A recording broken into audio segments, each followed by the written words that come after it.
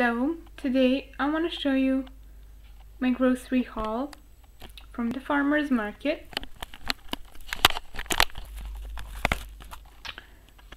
Uh, this was all bought locally so especially in times like this I advise you to support local markets they have a higher quality produce especially if you're you know if you're if you're buying produce it can be cheaper it's more ethical it's more sustainable.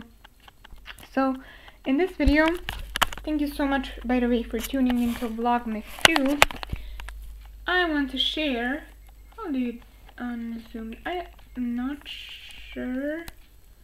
Um, but in this uh, video I want to share with you my locally um, my farmers market grocery haul all full of local pro produce and this all cost me 500 dinars uh, 500 Serbian dinars which is less than 5 euros. I don't know something about five dollars. So it's really cheap.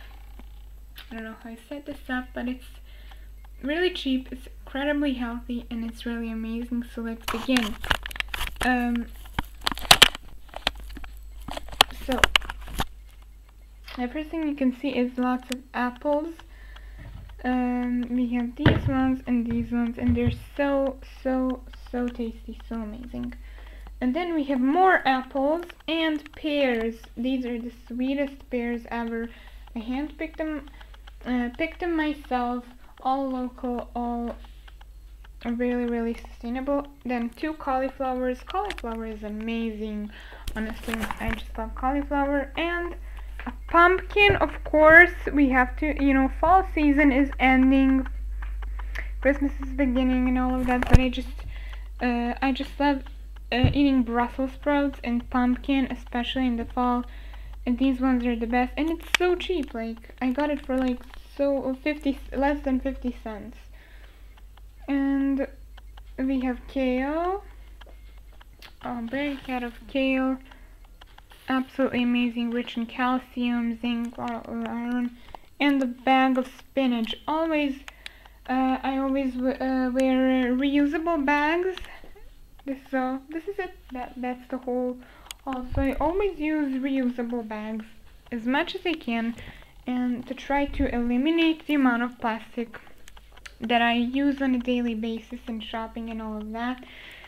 Uh, but that's what I wanted to show you. And and so I want you to leave a comment. How much did you think that all of this cost? Look at this.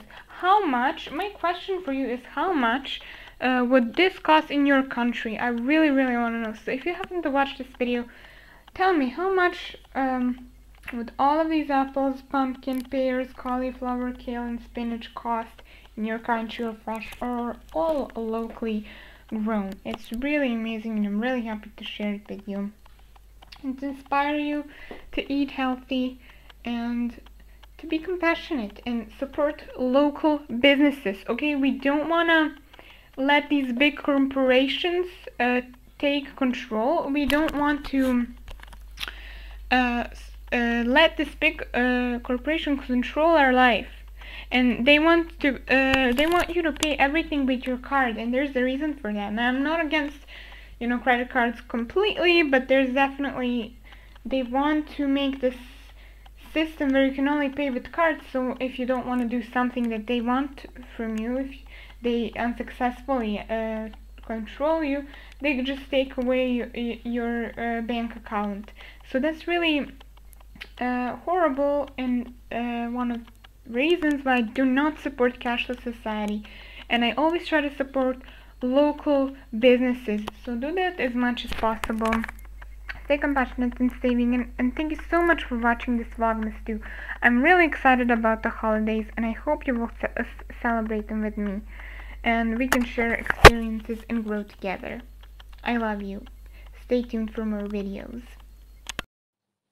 And by the way, that wasn't pumpkin. I completely um I don't know, disregard It It was butternut squash. I love butternut squash, so yeah, just want to say that.